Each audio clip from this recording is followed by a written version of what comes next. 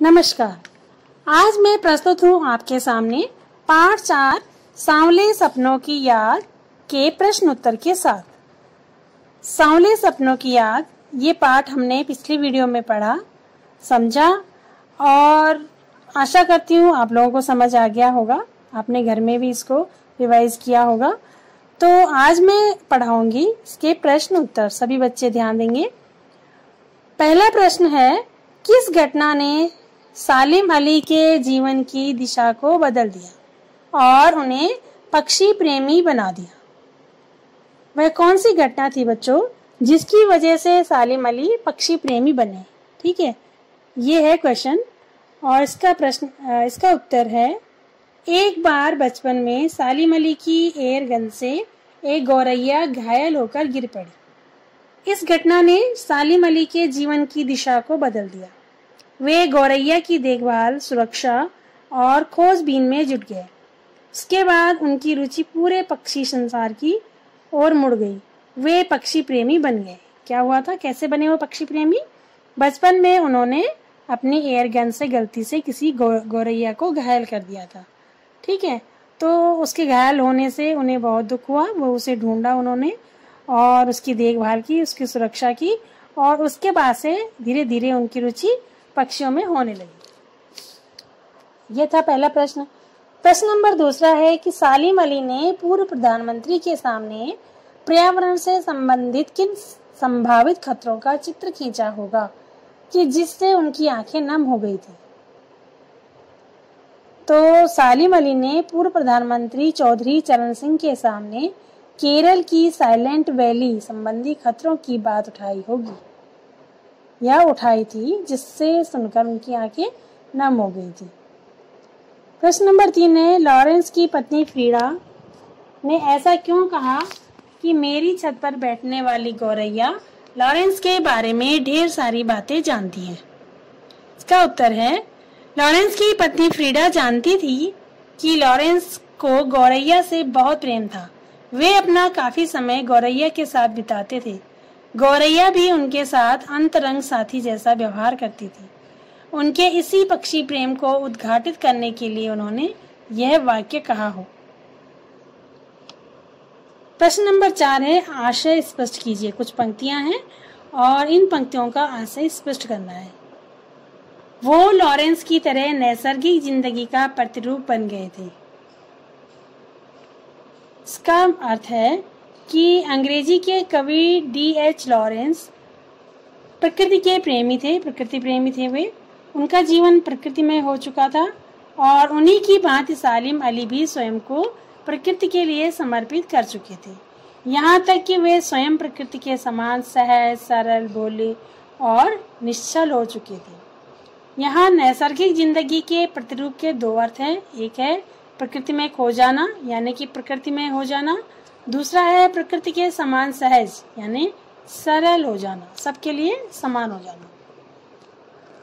तो ये था पहली पंक्ति का आशय दूसरी पंक्ति है, कोई अपने जिस्म की हरारत और दिल की धड़कन देकर भी उसे लौटाना चाहे तो वह पक्षी अपने सपनों के गीत दोबारा कैसे गा सकेगा?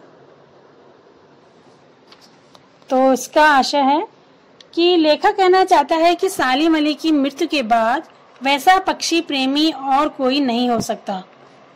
सालिम अली पक्षी रूपी मौत की गोद में सो चुका है। और अतः अब अगर कोई अपने दिल की धड़कन उसके दिल में भर दे और अपने शरीर की हलचल उसके शरीर में डाल भी दे तो भी वह पक्षी फिर से वैसा नहीं हो सकेगा, क्योंकि उसके सपने अपने ही शरीर और अपनी ही धड़कन से उपजे थे। वे मालिक थे। किसी और की धड़कन और हलचल सालिम अली के सपनों को पुनः जीवित नहीं कर सकती। आशय यह है कि उनके जैसा पक्षी प्रेमी प्रयास पूर्वक उत्पन्न नहीं किया जा सकता। प्रश्न नंबर ग है। आ, उसी का है आशय स्पष्ट एक और पंक्ति है। सालिम अली प्रकृति की दुनिया में एक टापू बनने की बजाय अथाह सागर बनकर उभरे थे। ये आशय स्पष्ट करने में भी ये पंक्ति आ सकती है और इससे इससे एक इम्पोर्टेंट प्रश्न भी बनता है। अक्सर हमने पिछले एग्ज़ाम में देखा इंपॉर्टेंट प्रश्न भी बनता है इसमें। अथा टापू बनकर उभरे ये कैसे? तो इसका उत्तर है कि सालिम अली प्रकृति के खुले संसार में खोज करने के लिए निकले। ठीक है? उन्होंने स्वयं को किसी सीमा में कैद नहीं किया। वे एक टापू की तरह किसी स्थान विशेष या पशु पक्षी विशेष से नहीं बंध गए। उन्होंने अथाह सागर की तरह प्रकृति में जो जो अनुभव आए, उन्हें संजोया और उनका कार्य क्षेत्र बहुत विशाल था। यानी वो कहीं पर बंद कर नहीं रह सकते थे। प्रश्न नंबर पाँच है कि इस पाठ के आधार पर लेखक की भाषा शैली की चार विशेषताएँ बताइए। कि लेखक की भाषा कैसी थी? सांवले सपनों की याद नामक पाठ की भाषा शैली संबंधी विशेषताएँ निम्नलिखित हैं। आप इस तरह से उत्तर लिखेंगे। इसमें आप पहला लिखेंगे, मिश्रित शब्दावली का प्रयोग। इसमें लेखक ने मिश्रित शब्दावली यानी अलग अलग भाषाओं से शब्दों को लिया है। जैसे उर्दू भाषा से तद्भव तत्सम, विदेशी भाषाओं से शब्दों को लिया है। यानी लेखक ने उर्दू शब्दों का सबसे ज़्यादा प्रयोग किया है। जैसे ज़िंदगी, परिंदा, खूबसूरत, हुजूम, खामोश। संस्कृत के शब्द भी हैं, जैसे संभव, अंतहीन, पक्षी, वर्ष। ठीक है? तो इस प्रकार उन्होंने संस्कृत उर्दू का इस तरह प्रयोग किया है कि वे सगी बहने लगती हैं। अगला है, जटिल वाक्यों का प्रयोग हुआ है। जाबिर हुसैन की रचना वंकिम और जटिल है। वे सरल सीधे वाक्यों का प्रयोग नहीं करते। कलात्मकता उनके हर वाक्य में है। और प्रश्न नंबर छह है, इसमें इस पाठ में लेखक ने सालिम अली के व्यक्तित्व का जो चित्र खींचा है, उसे अपने शब्दों में लिखिए, ठीक है? और सालिम अली हर समय क्या लिए रहते थे और क्यों? ये दोनों इम्पोर्टेंट प्रश्न है। सीबीएसई के पिछले एग्ज़ाम में आए हुए हैं तो आपको इन्हें अच्छे से समझना है।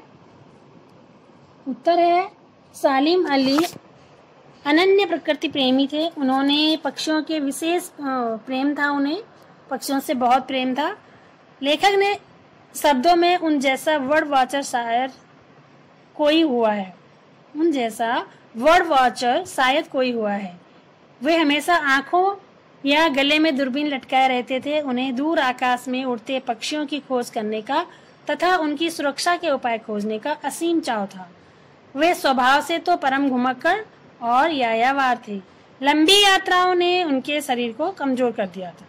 व्यवहार में वे इतने सरल, सीधे और भोले इंसान थे कि जटिल आदमी हैरानी में पड़ जाते थे कि क्या यही आदमी प्रसिद्ध पक्षी प्रेमी सारीमली है? वे किसी भी बाहरी चकाचौंध और विशिष्टता से दूर थे। ये था प्रश्न नंबर छह का उत्तर। प्रश्न नंबर सात है सांवले सपनों की याद, शीर्षक की सार्थकता पर टिप्पणी कीजिए। इस पाठ का नाम सांवले सपनों की याद क्यों रखा? सांवले सपनों की याद एक रहस्य रहस्य, रहस्यात्मक शीर्षक है। इसे पढ़कर पाठक जिज्ञासा से आतुर हो जाता है कि कैसे सपने, किसके सपने, कौन से सपने, ये सपने सांवले क्यों हैं? कौन इन सपनों को याद में आतुर है? आदि इस तरह के प्रश्न उठते हैं।